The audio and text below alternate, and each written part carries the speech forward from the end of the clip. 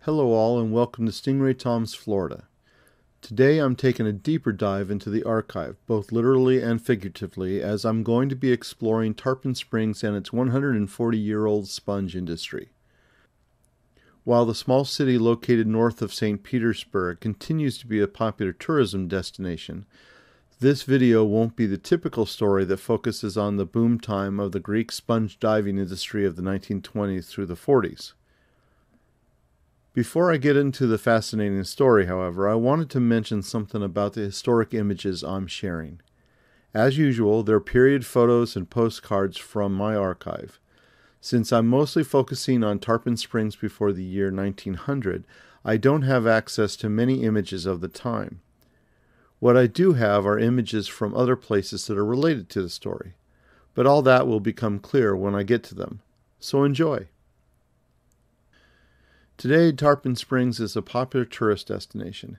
Ask people what they know about the city, and they'll invariably mention the sponges and the Greek immigrants who harvest them. It's generally considered that Tarpon Springs has the highest percentage of Greek Americans of any city in the U.S. The Greektown Historic District, that includes the sponge docks on the Anclote River, as well as the buildings along the adjoining Dodecanese Boulevard, was added to the National Register of Historic Places in 2014.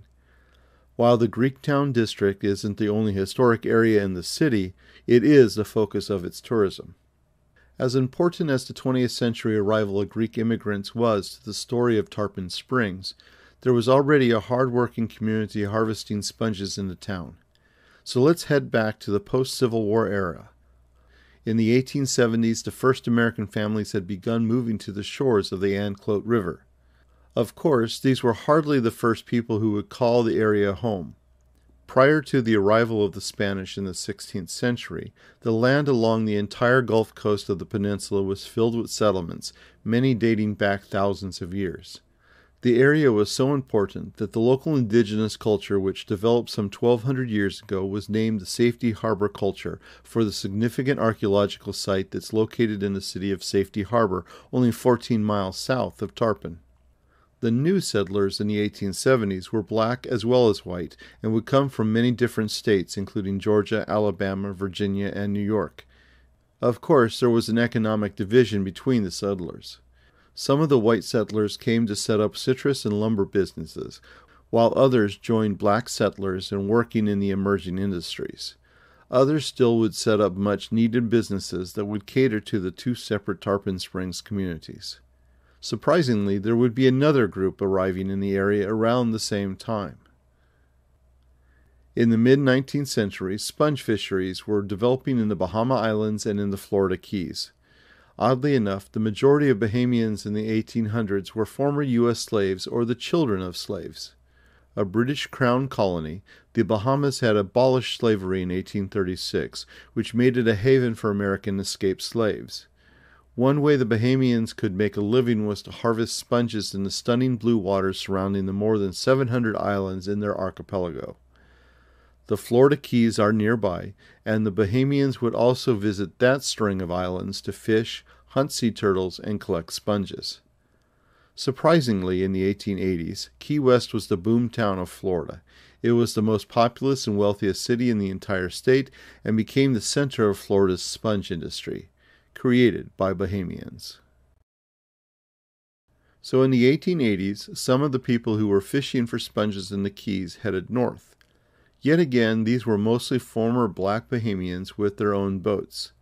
They and their families found the area quite agreeable and began to harvest sponges using the traditional method. It was likely the spongers from the Keys who discovered Tarpon's sponge beds, though it could have also been Keys residents who were in search of sea turtles who found them and shared the news with the spongers. Either way, we know that sponges in the Tarpon Springs area were soon being harvested by immigrants from the Keys. In the Bahamas and the Florida Keys, the waters are shallow enough that sponges were harvested by a process that could be called boat hooking or sponge hooking. Working in clear water and calm winds, the men, often called hookers, worked from small two person boats. While one man would maneuver the boat with a pair of oars, the other would peer into the water, typically using a water glass, a bucket with a glass bottom, to scan the ocean floor until he spotted a sponge. Then he'd use a long pole up to 30 feet or 9 meters long with a hook at the end to tear the sponge free. The hook was like a small curved pitchfork with two to five tines. Working the hook underneath the sponge, they would sharply yank the hook until most of the sponge ripped free. Depending on how much of the sponge ended up staying attached to the ocean floor, it would be able to continue growing. Modern studies show that hook sponges grow back about one third of the time, though this only works if the remaining fragment includes the right type of cells. This hooking method is still used in the waters around the Bahamas and the Keys. Initially, when the hookers moved north to Tarpon Springs, they continued to harvest sponges the same way, but in the Gulf, shallow beds aren't as extensive as those in the Keys. Eventually, they began to be over harvested. There were much larger sponge beds in the water that were too deep for hooking from boats, so men began to free dive to the bottom. This was accomplished by using weights to pull the diver quickly to the sea floor. The weights would be released when he was ready to head back to the surface. They would use short hooks to harvest the sponges during their dives, placing what they could get in a couple of minutes in a bag. The weights were tied to ropes to be retrieved for the next dive. The spongers would also use knives to cut the sponge free from the sea floor. Harvesting sponges by free diving was harder, more dangerous, and very exhausting, and as, good as the black spongers were, it was some of the hardest work available. By the way, studies have shown that sponge survival rates can be as high as 70% for using a knife to cut them free versus the one third for those that were hooked. Once harvested, the spongers would store their catch in what were known as crawls. The crawls were fenced in wooden sea pens located near the shore. Kraal is an Afrikaans word from South Africa. It suggested that it's derived from the Portuguese word curral, which is also associated with the Spanish word corral. In South Africa, kraals were an enclosure for cattle located within a village.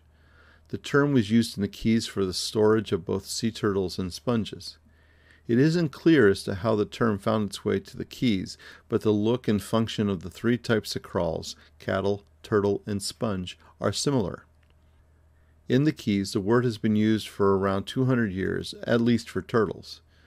Upon first seeing them, the naturalist John James Audubon would write in 1832 each turtler had his kraal, which is a square wooden building or pen formed of logs, which are so far separated as to allow the tide to pass freely through and stand erect in the mud. The turtles are placed in the enclosure, fed, and kept there until sold. Sponge crawls were constructed of small tree branches, as can be seen in the photos.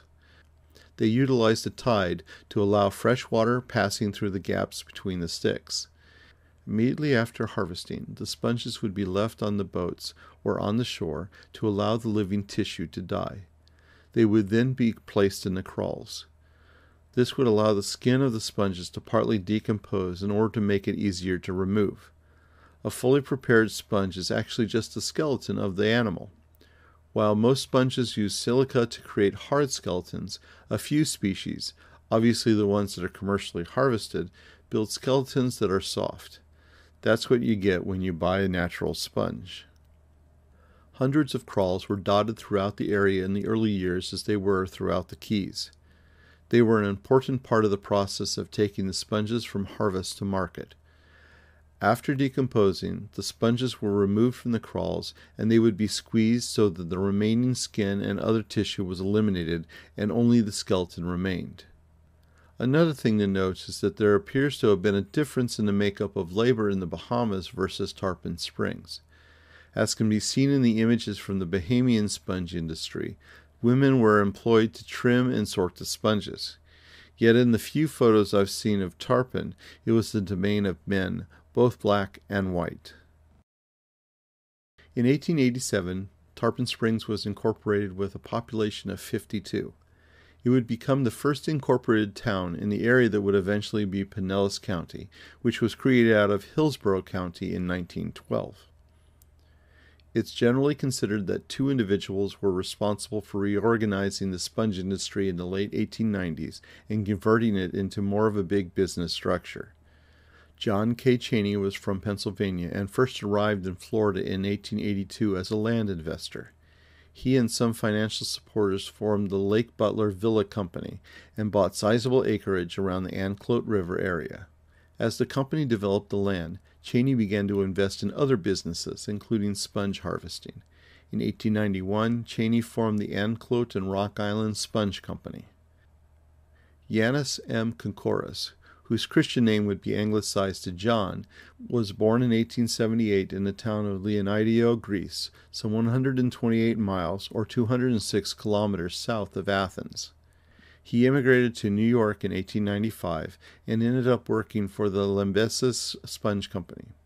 The firm sent him to Tarpon in 1896 to buy sponges from the locals, most of whom were the black sponge hookers. Koukouras would work with Cheney's sponge packing house as the industry grew. By 1902, three of John Kokoris's brothers had arrived from Greece as well, and they began to realize that there was a greater opportunity to be had if they could harvest the sponge beds that were at a much deeper depth in the Gulf. Utilizing Cheney's wealth along with money from other investors, the Koukouras brothers began importing skilled sponge divers from Greece who had recently adopted the new pressurized diving suit technology using air pumped from the surface. After converting a locally purchased boat into a diving boat, they rechristened it the Elpis the Greek word for hope. By 1905, Greek divers were coming into Tarpon Springs in large numbers, and Cheney and the Kokoris brothers were rapidly building new diving boats. It's estimated that 1,500 Greek men and their families had arrived in Tarpon by the end of 1905. Within a few years, thousands of Greek spongers were permanent residents of Florida's newest boomtown and were operating hundreds of boats. The Greek boats would include ones for diving the deep sponge beds as well as ones for hooking on the shallow beds. All this was made possible by large investments of money, and it changed Tarpon Springs and the sponge industry forever. Throughout the first two decades of the 20th century, the Greek sponge fleet would emerge and expand, which forced the black spongers to deal with the new competition in various ways. Some simply found work in other industries, such as lumber and agriculture. Others would sign on to Greek owned boats as deckhands and use their skills to work with the evolving sponge industry. Still others would continue to process the sponges on the dock and in the warehouses. By the 1920s, the traditional crawls were no longer in use. Not surprisingly, because of the sheer number of Greek immigrants, the vast majority saw little need to learn English. Tradition was that the communication barrier was eliminated when the Greek language was learned by black spongers who went to work on the boats and in the warehouses. This helped all the separate communities work together in the booming industry. The 1920s and 30s are considered the golden era of the sponge industry, where some 50% of all sponges in use in America's homes came from Tarpon Springs. Later, the industry would be hurt by sponge die offs the invention of the artificial sponge, and overfishing. Today, Tarpon is still a center for sponge fishing and continues to be a popular destination for tourists who enjoy walking along the docks, visiting the shops on Dodecanese Boulevard, eating the authentic Greek food, and taking boat tours along the Anclote River and out to the Gulf of Mexico. I hope this has been an interesting story. Tarpon Springs is one of my favorite small cities in the state, and it's a popular tourist destination. I plan to do more videos on Tarpon, and not surprisingly, some of these will focus on the Greek community and its contributions to the area and to Florida tourism. On a sad note, I wanted to mention that while I was visiting Tarpon Springs last week, I noticed my favorite family owned Greek restaurant was closed as they were mourning the death of their patriarch. Andreas Dimitrios Salivaris passed away at the age of 80 on May 18 in 2021. He was born on Kimolos, a Greek island about 150 miles south of Athens. He came to Tarpon Springs in 1984 from Cleveland, Ohio. He was the owner and operator of Mykonos Restaurant on Dodecanese Boulevard, directly across from the Sponge Docks. Giving reviews of restaurants isn't a subject that I plan to cover on Stingray Tom's Florida, but Mykonos is a restaurant I've returned to many times over the past 30 years, so I guess that means something. My condolences to the Salivares family and the staff of Mykonos. So that's another video from Stingray Tom's Florida. Please give it a like and subscribe. I'd really appreciate it. Stingray Tom's Florida, traveling through time around the Sunshine State.